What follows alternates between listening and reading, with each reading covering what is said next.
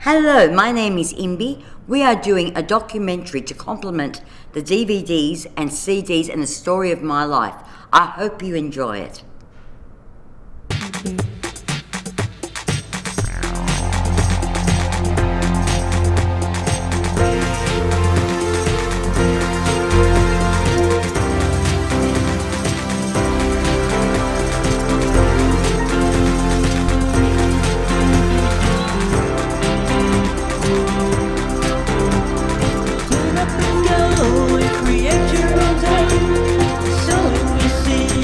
Imbi, tell me where your parents actually came from.